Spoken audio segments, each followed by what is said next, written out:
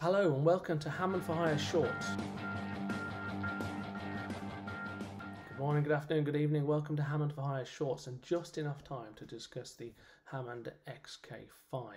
Interesting thing that I've had happen to it on three occasions now. Have you ever had it lock up, just freeze? It's switched on, it's frozen. Had it a couple of times two years ago and I noticed the firmware was out and there is uh, it's in it's translated from Japanese, so it's a little bit ambiguous, but there seemed to be a firmware fix for this. I updated it, and it hasn't happened again. That was until just the other day. Locked up, unresponsive drawbars, nothing, nothing would work, no sound coming out of it.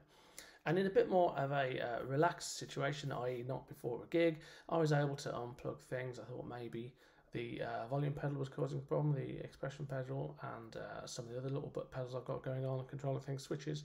It was not that. Off and on, and it works fine. Anyone else had that? Please uh, drop it in the comments. Let me know. Uh, don't forget to like and subscribe. All of these things. It really does help.